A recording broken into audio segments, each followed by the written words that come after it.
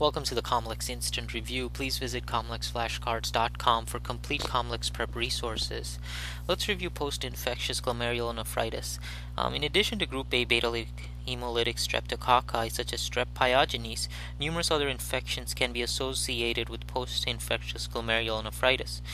Virtually any infectious agent can cause it, including Hep B, C, CMV, you know, staphylococcal infections, um, and what happens here is that you want to look for the characteristic appearance of a smoky, cola or tea-colored urine on presentation. This abnormal urine color is from the hematuria, red blood cell cast, and proteinuria.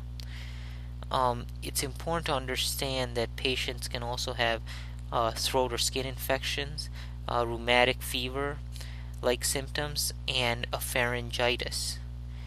The, there's also periorbital edema and hypertension, which are common. And the best initial test is a anti-streptolysin ASO test and anti-hyaluronic acid test. So that's a key thing. The important finding also is that the complement levels are low, so C3 levels are low. But the most accurate test is the renal biopsy showing humps on electron microscopy. IgG and C3 will be deposited in the mesangium as subepithelial humps, and treatment is largely supported with management of fluid, overload, and hypertension with diuretics.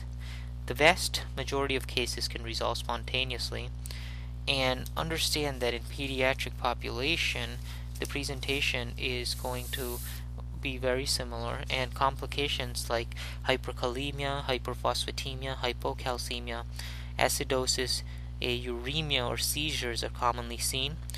Um, antibiotics, if they're given, such as penicillin, can be given for 10 days, but sodium restriction and diuresis, along with fluid and electrolyte management, are key. Understand also the fact that um, the streptozyme test, which is the slide agglutination test, is required here. And so, as a recap, let's just review some of the key points you're looking for an infection um, almost any infectious agent can cause this. You are looking at the characteristic smoky cola tea colored urine. That's what you'll look for on the board exam. Um, C3 levels are low.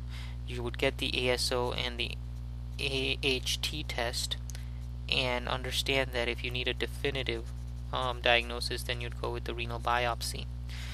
Treatment is with um, managing the hypertension, and fluid and electrolyte management.